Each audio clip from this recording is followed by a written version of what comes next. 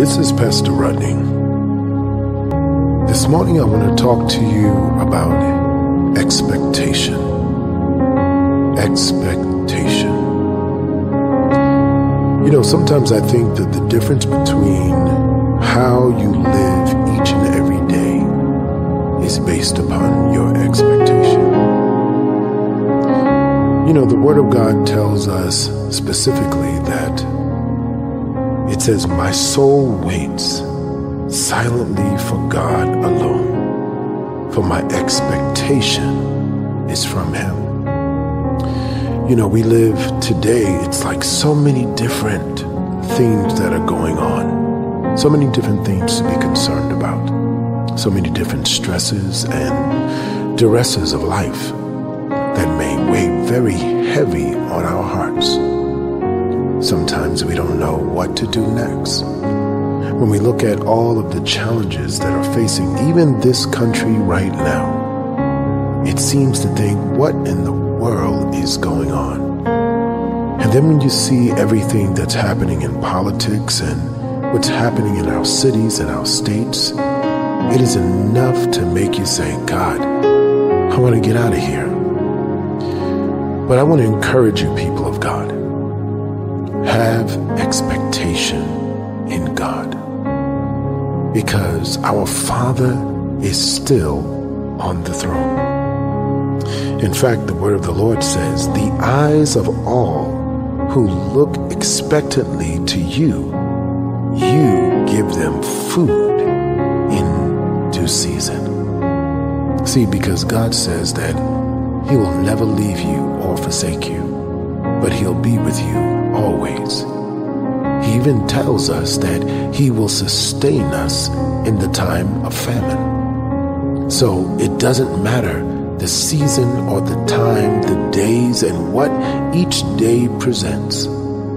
If our expectation is in Him, then we'll make it through every challenge. Now, what is expectation? Expectation really means hope. And the Word of God says, Now faith is the substance of things hoped for, but the evidence of things not seen. So it's when you have that hope, that, that reason of hope within you, it causes for you, even in the darkest days, to still smile. Because if God be for me, who can be against me. Yes, my friends, we live in dark times, but let us not forget that He is our light. He said that He will be a lamp or a light in the wilderness. In the darkest nights, God will give you illumination. Why? Because your expectation is not in the times but your expectation is in Him. Solomon said that all of life and everything that is, is contained therein is vanity. He says at the conclusion of the matter, he says, he says, this is man's whole duty to reverence God and to keep his commandments. See, because when we trust in him, we will never be ashamed. It is important to know that God will never fail. He says, My word shall not return to me void, but it's going to accomplish everything that I have determined. And so today, my expectation is in Him. Today, your expectation, your hope should be in God and in God alone. For truly, He will never fail us but He is God yesterday, today, and forevermore. John the Revelator heard Christ say, I am the Alpha and the Omega, the beginning and the end, the first and the last, he who was and is and is to come, the Almighty.